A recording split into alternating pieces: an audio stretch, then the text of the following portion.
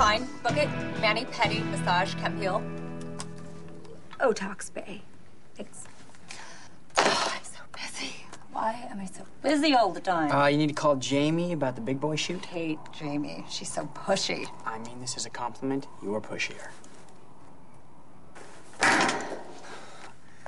Is it cool if I take off half an hour early today? Why? Uh, well, actually, my band has a gig. Awesome. Where?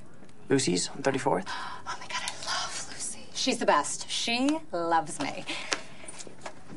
You're not gonna embarrass me. You are good, right? Yeah, we're good. So leaving early is cool then. Oh no. No, no, no, no, no. I am kidding! Wasn't that funny? That was funny. Of course you can. Go, go.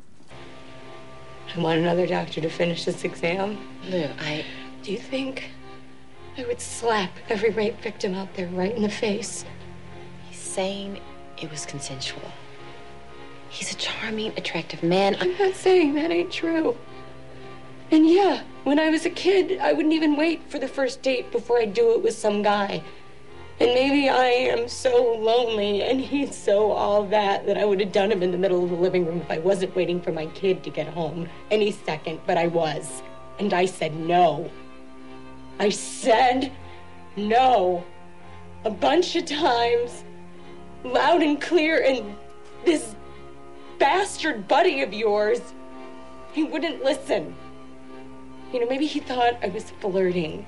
Maybe he thought of, that no meant yes, or that no one could possibly be saying no to a god like him. But either way, he forced me down on the couch, and I tried to push him off of me.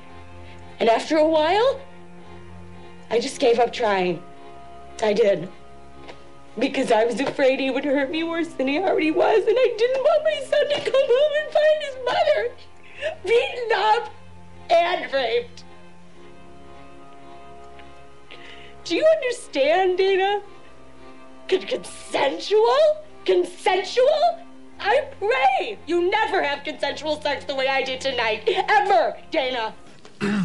Tell me, how'd you two meet? Well, Oh, let me tell it. Alan was interviewing graduate assistants, and well, I didn't have the pedigree of some of the other applicants. You know, I didn't go to Harvard undergrad. No, I was just a 25 year old working at Hooters to put herself through school. but this man saw something in me. I believe in giving people chances. But I don't think your husband wanted to die. And why would he throw himself out a window?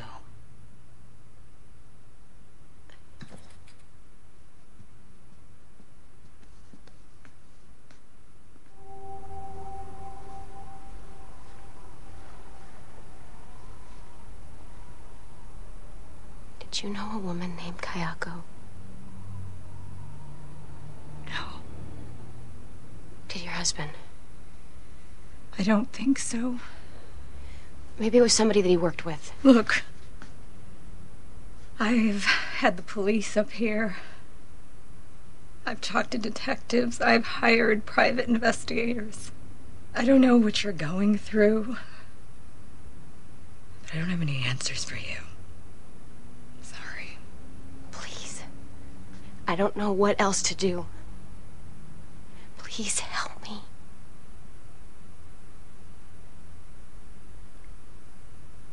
So, Haley, you have a very unusual name. Do you spell it like the comet? There's a comet named Haley? wow. No, actually, it's spelled H A I L E Y. But then I went to this psychic, and she told me I'd become famous if I put two E's at the end. So I changed it to H A I L